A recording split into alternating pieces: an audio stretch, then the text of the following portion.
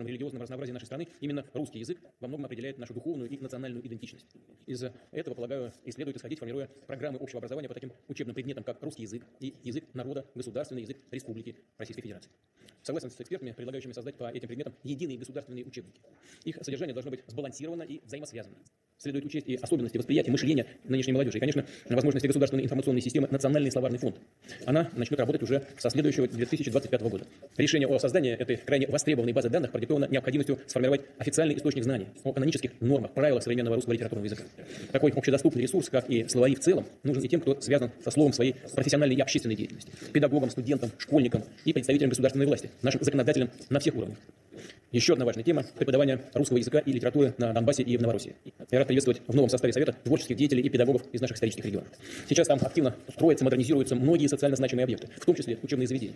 Считаю, что кабинеты русской словесности должны оснащаться всем необходимым в приоритетном порядке. Обращаю на это внимание Министерство просвещения, органов власти всех уровней, общественных организаций, наших предприятий и компаний, которые помогают с обустройством школ. Кроме того, будет правильно создать на базе общедоступных библиотек Донецкой и Луганской республик, Херсонской области и Запорожья центры популяризации русского языка и произведений наших прославленных литераторов. Вместе с тем, мы понимаем, что познание языка, воспитание культуры речи начинается еще с дошкольного возраста, дома, в семье. И огромную роль здесь играет детская книга. Ее значение для полноценного развития личности просто неоценимо. Уважение к книге, стремление с малых лет приобщить ребенка к чтению в наших традициях. Давайте вместе подумаем, как помочь родителям, бабушкам, дедушкам наполнить свои домашние библиотеки доброй, умной и качественной, качественно изданной детской литературой. Хотел бы а, также узнать ваше мнение, какая дополнительная поддержка необходима и государственным детским библиотекам. Такие библиотеки – это уникальное достояние России. Прошу глав регионов активнее помогать библиотекам с пополнением фондов, ремонтом и оборудованием, расширением площадей. Я не раз говорил, а, что наша задача создать на базе таких библиотек настоящие центры просвещения, воспитания, культурной и общественной жизни. Прежде всего в сельских территориях и в малых городах. Особого внимания требуют и школьные библиотеки. Уверен, их место в современной системе образования может быть гораздо более значимым. Они должны стать для ребят точками притяжения, пространством знаний.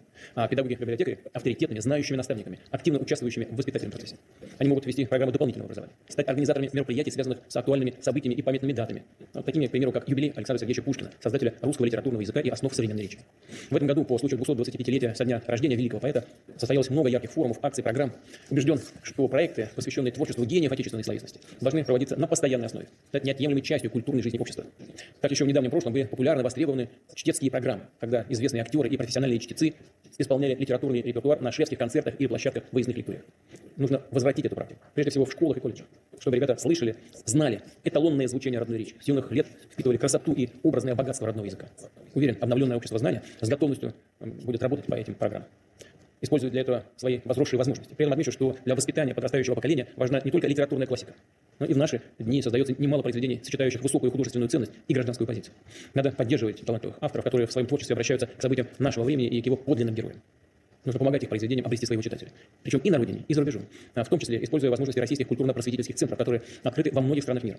Просил бы членов нашего совета вместе с Министерством иностранных дел проанализировать деятельность этих организаций и помочь выстроить их работу более системно, качественно, с учетом долгосрочных интересов России, наших планов по расширению международного сотрудничества со странами мирового большинства. Добавлю, что также активно нужно работать и с гражданскими э, обществами, э, с литератами, деятелями культуры, в том числе тех государств, включая Европу, правящие элиты которых проводят открытую антироссийскую политику. Это не отменяет наших добрых отношений с людьми, которые живут в этих странах. Знаю, что есть идея учредить специальную стипендию для молодых одаренных русистов, граждан других государств, которые преподают русский язык и литературу, продвигают нашу культуру за рубежом.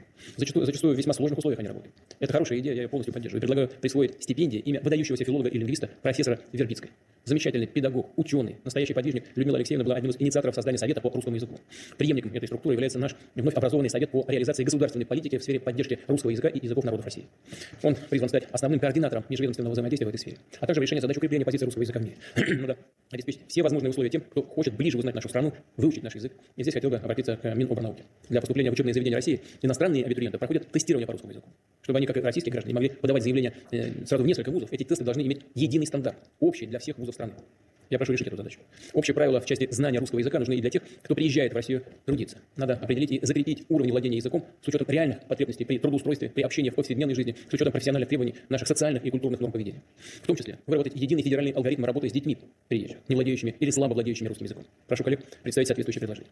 ну и в заключение о правовом регулировании в сфере языковой политики. Закон о языках народов России Российской Федерации был принят еще в 1991 году и, очевидно, нуждается в существенной переработке, начиная от создания официального реестра этих языков до приведения закона в четкое соответствие с современными реалиями, действующим законодательством. Повторю, поддержка русского языка и его продвижение в мире, сохранение языков всех народов России играют для нашей многонациональной страны первостепенную роль. И должны иметь соответствующее обеспечение. Правовое, ресурсное и, конечно же, содержательное, смысловое. Прошу администрацию президента и Совет сформулировать базовые стратегические цели и направления этой важнейшей сферы и подготовить проект основ э, политики, э, государственной политики в этом направлении. Давайте перейдем к работе. Слово Елене Александровне Япольской. Прошу, Елена Вас, уважаемый Владимир Владимирович, э, дорогие коллеги. Э, прежде всего, позвольте сердечно поблагодарить вас, Владимир Владимирович, за возможность поделиться предложениями в области поддержки и продвижения русского языка и языков народов Российской Федерации. Совет по реализации государственной политики в данной сфере был образован вашим указом 22 августа нынешнего года. За минувшие месяцы постарались с коллегами провести такую интенсивную работу, чтобы как можно быстрее заняться конкретными делами. Благодарим вас за расширение полномочий Совета, понимаем свою ответственность. Особенно важно, что по вопросам видения Совета отнесена теперь поддержка не только русского языка, но и других языков нашей многонациональной страны. Поставленные вами задачи создания единого реестра таких языков и совершенствования законодательства в нашей сфере, безусловно, станут одним из приоритетов деятельности Совета. В России, где самобытные культуры никогда не пытались переплавить в неком котле, где искренне ценили уникальность каждого народа, к национальным языкам исторически принято относиться с уважением, мы твердо знаем, что каждый язык бесценен, а русский при этом является родным для всех граждан России. Как вы, Владимир Владимирович, неоднократно подчеркивали, русский язык ничем заменить нельзя, он естественный духовный каркас всей нашей многонациональной страны. Действительно, если национальные языки помогают сохраняться этносом, то русский сплачивает этносы, единый народ, разнообразный по крови, но неделимый по духу. Русский был и остается языком, на котором говорит душа нашего народа. Не зря русский язык одновременные средства и цель. Средства коммуникации, как это положено языку,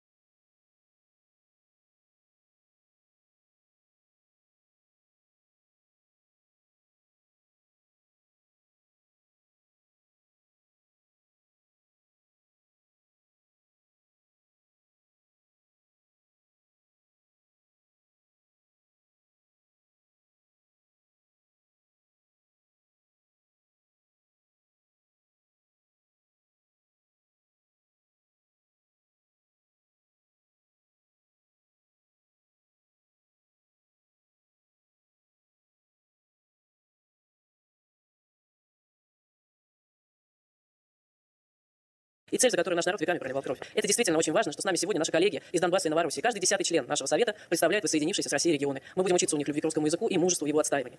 Более трех миллионов российских школьников на данный момент изучают на уроках языки народов Российской Федерации. По-моему, это просто удвоение счастья, когда у тебя два родных языка. А русский сегодня, как и в исторической перспективе, остается макропосредником, обеспечивающим единство, согласие и развитие страны. Горячо приветствуем, Владимир Владимирович, ваше предложение не противопоставлять. Пусть даже формально в школьной программе понятие русский и родной. Россия равняется Родина, русский равняется родной. При этом существующие учебные пособия по предмету родной русский язык содержат немало увлекательных фактов о происхождении, становлении, трансформациях языка. Живой интерес он ведь как магнит, к которому знания сами притягиваются. И, на мой взгляд, эти сведения должны стать частью единой государственной линейки учебников по русскому языку. Создание такой линейки, причем в рамках всего курса русской словесности, то есть во взаимосвязи русского языка и литературы, как вы справедливо заметили, задача назревшая, готовы участвовать в реализации. Спасибо, Владимир Владимирович, за ваши слова о детских книгах. Будущий читатель, он начинается с не, с выученной азбуки, он начинается со сказок, которые тебе читают мама или бабушка, с иллюстраций, которые ты разглядываешь из-за папиного плеча. Подобное мгновение бесценно, всегда запоминается, что литература — это волшебный мир, куда тебя за руку вели самые близкие люди. Детские книги — это не только про чтение. В первую очередь, это про семью. Именно поэтому они так важны. Живите, государи мои, люди русские, в со своей старой сказкой. Чудная вещь, старая сказка. Горе тому, у кого ее не будет под старость, говорил наш классик Николай Семенович Лесков. Уверена, что сегодня тема детской книги, ее качество и доступности будет коллегами обязательно поднята, как и вопрос развития специализированных детских библиотек, школьных библиотек, а также возрождение в полном объеме чтецких программ, о чем вы, Владимир Владимирович, уже сказали. Эта практика организационно не сложна, но очень эффективна и многое дает ребятам. Мы помним об этом по своему школьному детству. Кроме того, как вы справедливо заметили, существуют дети с иностранным гражданством или уже граждане Российской Федерации, которые слабо владеют русским языком. Это негативно сказывается на их уровне освоения школьной программы, и что совершенно недопустимо на успеваемости их одноклассников. Абсолютно согласна с вашим предложением, что работать с такими детьми надо по единому федеральному алгоритму. Позвольте предположить, что подобный алгоритм должен включать в себя обязательную диагностику владения языком и по ее итогам сопровождения конкретного ребенка до тех пор, пока он не овладеет русским в объеме необходимом для освоения школьной программы. Насколько я знаю, систему такого сопровождения готовы разработать Министерство просвещения Российской Федерации. Мне кажется, было бы хорошо, чтобы она охватывала все ступени общего образования, включая дошкольное. Чем раньше мы начнем с ребенком работать, тем меньше проблем впоследствии у нас возникнет с его адаптацией и социализацией. Не могу не коснуться еще одной важной темы. Засилие вокруг нас англицизмов, транслитов и латиницы.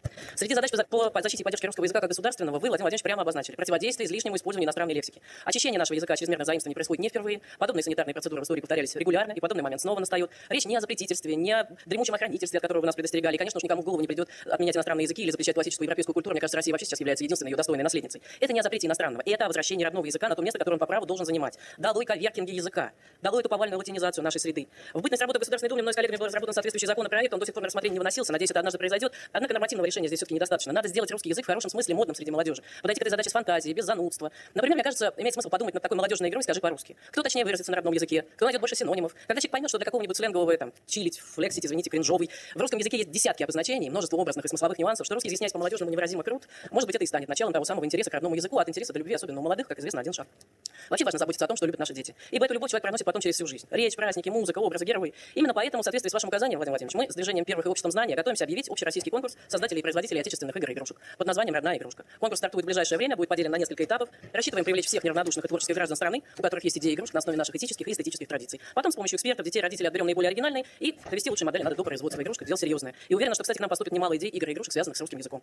Более того, позвольте добавить, что световые дизайнеры сегодня проектируют массу интереснейших арт-объектов на основе кириллицы. Так можно вписать символику родного языка в общественное пространство. Творчески подойти к оформлению наших городов и поселков, формируя национально ориентированную среду. Это направление мы также предлагаем поддерживать. Знаю, что коллеги будут поднимать сегодня важнейшую тему продвижения русского языка за рубежом. Систематизации и повышения этой эффективности этой работы, о чем вы только что сказали. Русский становится языком духовно здорового мира, выразителем тех человеческих, семейных, нравственных ценностей, которые не нуждаются в переводе. Русский сегодня – это язык сохранения человеческого в человеке. Вот вы, уважаемый Владимир Владимирович, отдельно остановились на мероприятиях, посвященных юбилею Александра Сергеевича Пушкина. Неонацистов, с которыми сегодня бьется Россия, корежит лютая ненависть к трем главным духовным противникам. Православие, победа и великая русская культура с ее вершиной в лице Пушкина. Вот чего они боятся, как черти ладана. Но лишь только очищается наша земля, и снова звонят колокола, зажигается вечный огонь, восстанавливаются памятники, звучит великое русское слово и будет звучать во веки веков, чему, надеюсь, послужат и основы государственной языковой политики, за разработку которых мы с радостью и с огромной благодарностью за такое поручение немедленно возьмемся. Благодарю вас за внимание. Спасибо.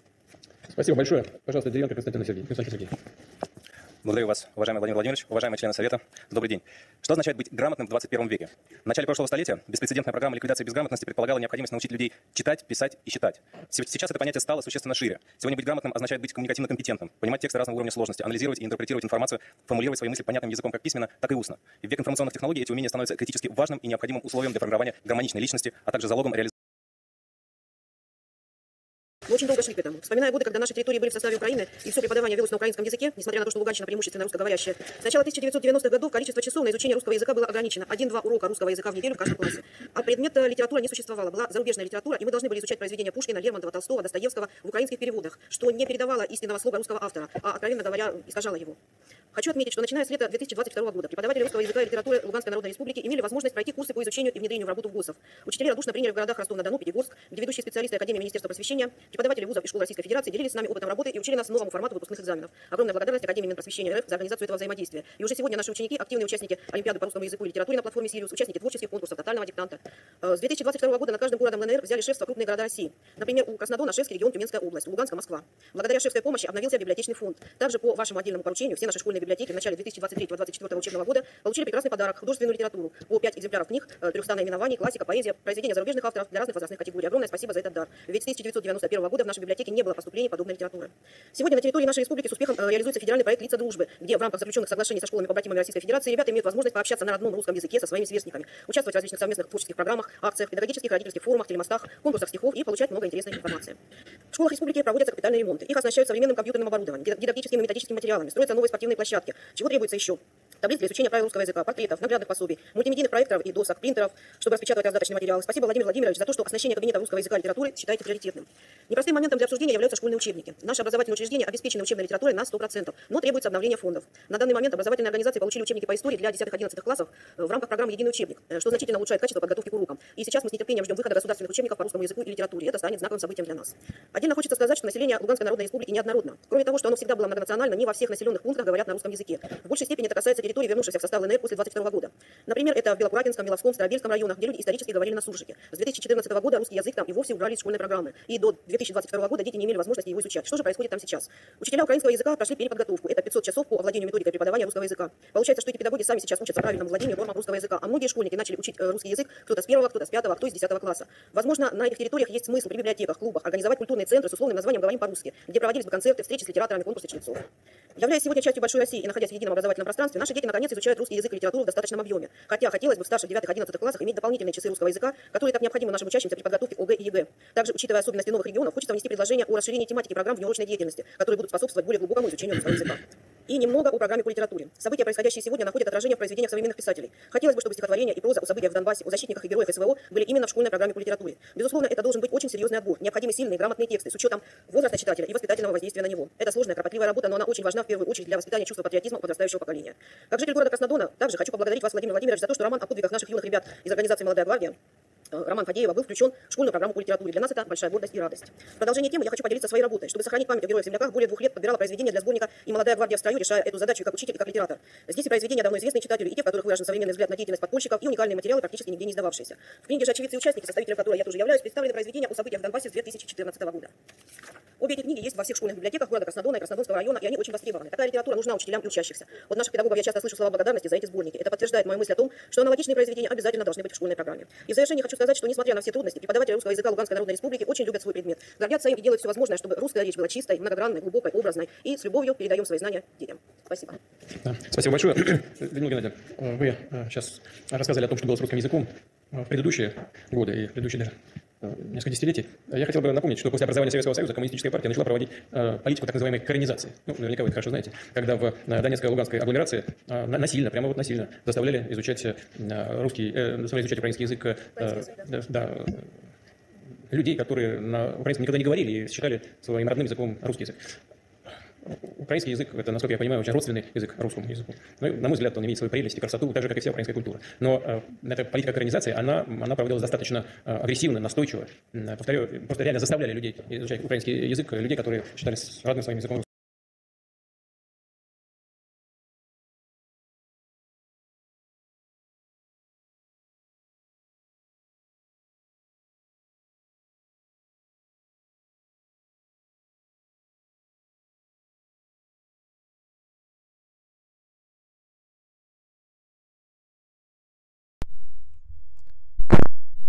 Папе слово дадим немножко. Поболтать папе можно? Так-то Владимир прав, собственно. Правильно? Я как бы вам далеко ходить не стану. Как бы приведу просто простой пример из жизни, что как бы, ну, вот, вот человек, вот этот человечек, вот он прав только что по фактам все раскидал на самом деле. Ну, они сейчас говорили про период, который там начался до специальной военной операции. Вот, но как бы я просто лично, ну, я просто лично знаю, как оно было. А, просто, просто, блядь. Ладно, простите за мой французский. Стараюсь больше такого не допускать.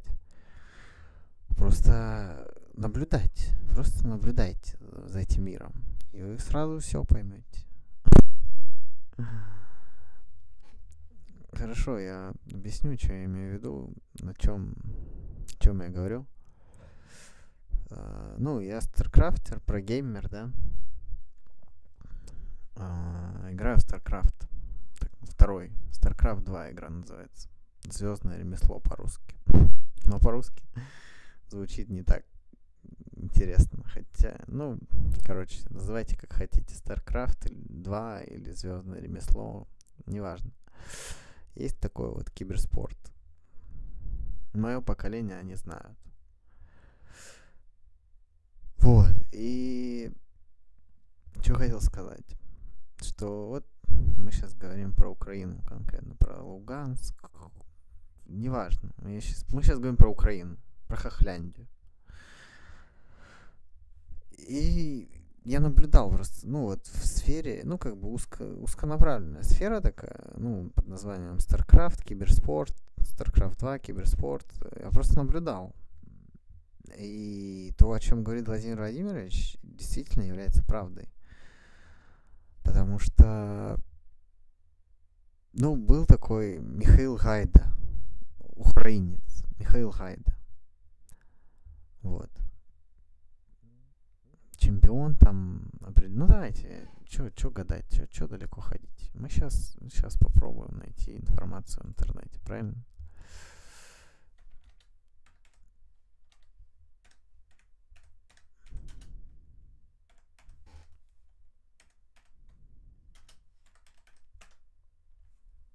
Ну вот, собственно. Знаменитый человек. Ну, я имею в виду, ну, относительно. Вот, собственно. Вот.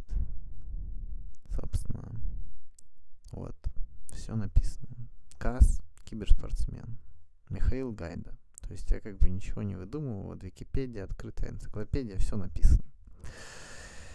И, собственно, история-то какая? История-то в чем состоит? История состоит в том, что вот данный человечек, с ним случилась точно такая же история, что нам только что рассказал Владимир Владимирович, наш президент. Точно такая же история. Как оно все было? На дворе был какой год? Когда началась спецоперация? Вы мне скажите. Неважно, когда началась. Два с половиной года назад. Вот в этом году трехлетие будем праздновать. Специальная военная операция.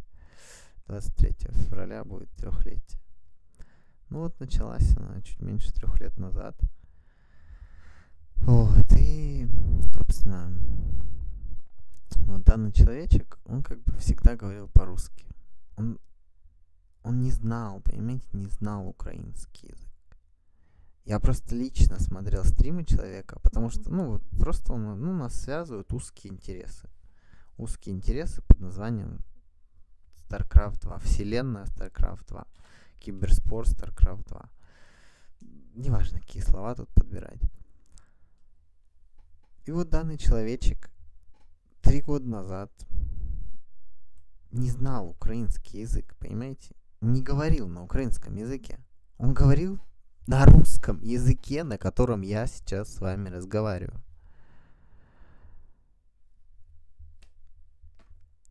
Прошло какое-то количество времени. Ну, три года прошло, соответственно. Ну, еще трех лет не прошло с начала специальной военной операции. Прошло два с половиной года. И что мы видим? Мы видим влияние пропаганды на человечка. Я понимаю, что это нормально. Что, как бы, если ты живешь на Украине, это нормально занимать сторону Украины. А если ты живешь в России, то нормально занимать сторону России. Это логично и нормально и супер классно. Это, ну, это стандарт. Это, это, ну, так бы поступил любой здравомыслящий человек. Вот. Но мы как бы возвращаемся к словам Владимира Владимировича. Собственно, Владимир Владимирович, ты был прав. Вот у меня, видите, картиночка. Путин прав. Потому что Владимир Владимирович говорит, что оно все навязано. Их насильно заставляют учить украинский язык. Вот вам человечек, который просто три года назад ни слова, ну не то чтобы ни слова, но просто не, не говорил по-украински. Потом вот эти два года я наблюдал, ну, там жил, там, сям, не, ну, жил рядом с Украиной, жил, вот сейчас в Сибири живу. Я сам родом из Сибири. Жил в Таганроге, неважно. Ну, жил, короче, рядом с Украиной. Не суть, мы сейчас не о том, где я жил. Мы сейчас о том, что человечек просто за первый год специальной военной операции выучил украинский язык, начал гнать на Россию, выучил украинский язык, начал на украинском языке гнать на Россию. Как настоящий преданный украинский человек. Все, ребята, у меня мама, мама проснулась, у нас проблемы. Хьюстон, у нас проблемы. Хьюстон. Хьюстон, у нас проблемы. Мама закрывает, мне надо договорить.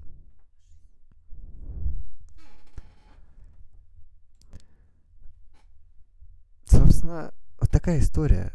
Собственно, человечек, то есть ему просто навязали это. Но я, я вам не, я не сказки выдумываю, понимаете? Я вам делюсь своим опытом, который я пронаблюдал. То есть я любил человека. Мне нравился украинский игрок в StarCraft 2. Я смотрел его видео, учился у него играть в StarCraft 2, понимаете?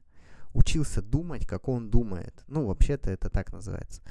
В том плане, что в StarCraft есть такое понятие, как mind games игры разума. Ну, это когда ты как бы наблюдаешь, как человек играет, и стараешься перенять его стиль, ну, образ игры. Вот. А теперь все.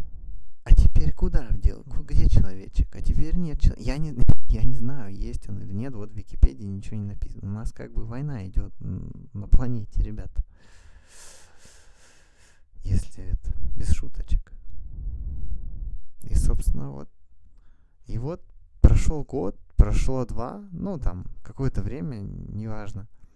И все, и человечек уже вместо русского говорит исключительно на украинском.